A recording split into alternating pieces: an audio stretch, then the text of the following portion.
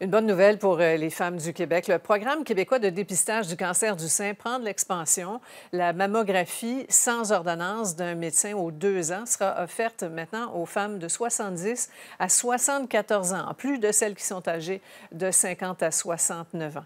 Euh, voyez ce tableau, là, selon la Société canadienne du cancer, il s'agit du cancer le plus fréquent chez les femmes au pays et la deuxième cause de décès chez les euh, Canadiennes. Au Québec, environ 8 000 nouveaux cas sont signalés chaque année. On en parle avec la docteure Diane Franqueur, obstétricienne gynécologue et euh, directrice générale de la Société des obstétriciens gynécologues du Canada. Bonsoir, docteur Franqueur. Bonsoir, Mme Dis donc, il y a d'autres euh, provinces qui, qui l'offrent déjà, d'autres qui entrent dans, la danse. Alors, euh, il, fallait le faire, élargir aux femmes un peu plus âgées. Oui, puis on attend avec impatience d'élargir aux femmes plus jeunes aussi, parce que malheureusement, le cancer du sein, c'est une réalité. Euh, et vous savez, on fait beaucoup de recherches, donc on trouve euh, de plus en plus de, de, de facteurs de risque. On s'est aperçu, par exemple, récemment euh, que les jeunes femmes noires avaient des cancers du sein pour lesquels on pouvait euh, être porteur de gènes. Alors, mm-hmm. on, on mm-hmm. recommande d'avoir une approche qui soit globale, mais vous savez, c'est beaucoup de femmes à tester. Vous savez, c'est toujours le, le problème du dépistage, c'est qu'on veut pas inquiéter les femmes, on veut les rassurer. Le cancer du sein, c'est un cancer qu'on traite facilement. Mm-hmm. Et la plupart des femmes vont très bien, vont s'en tirer, vont pas mourir. Mais si on le trouve au tout début, on peut enlever une petite bosse. C'est ça. Faut, faut et pas avoir besoin d'enlever tout le sein. Il faut faire les choses rapidement. cela dit, dites-moi, les femmes euh, concernées leur reçoivent une, lettre du gouvernement. Il y en a beaucoup qui donnent suite à l'invitation parce que c'est sur une base volontaire.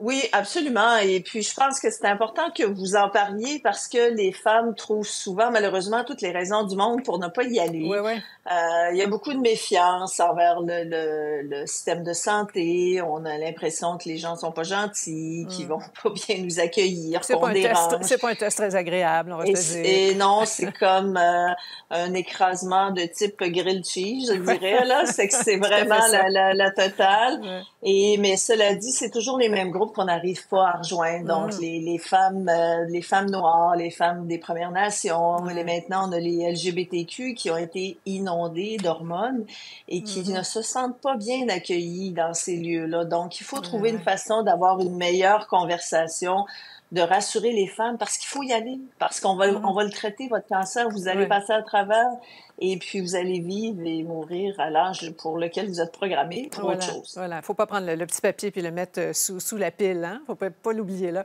Mais en même temps, ça veut dire 90 euh, 000 nouvelles mammographies par année. Docteur Francaire, on peut absorber cet afflux d'examens additionnels euh, dans le système?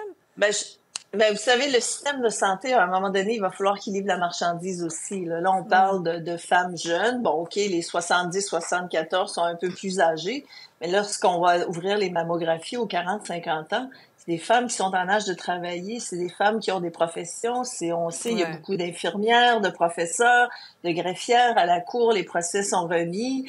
Euh, on demande aux parents de faire du bénévolat dans les classes. Il faut qu'on s'occupe des femmes. Il faut qu'on les trouve. Est-ce qu'on a besoin des infirmières pour tout faire dans des cliniques, dans des hôpitaux? Non, je pense qu'il faut commencer à élaguer les rôles et que les, les médecins fassent de la médecine, les infirmières fassent du nursing et un paquet d'autres gens qui peuvent aider à remplir les, les, les, les rôles qu'on confiait qui sont souvent cléricales. Ouais. Et, et, en abaissant là, du côté des femmes dans la quarantaine, on peut sauver euh, quoi 19-20 ça vaut vraiment la peine. Docteur Francaire, je ne veux pas vous laisser partir sans vous entendre sur la démarche française. Le premier pays à inscrire le droit à l'avortement dans sa constitution. Vos, vos réflexions là-dessus?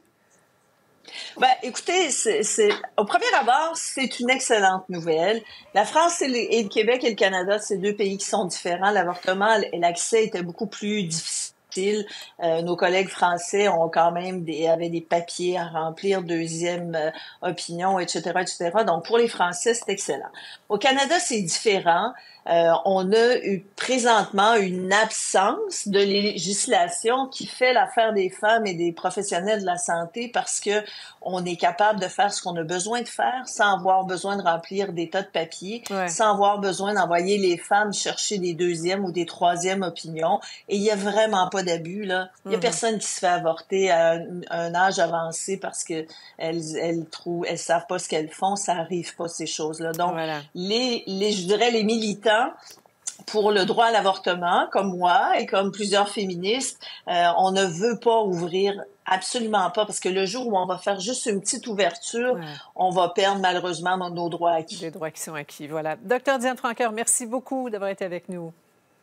Ça me fait plaisir. Bonne soirée.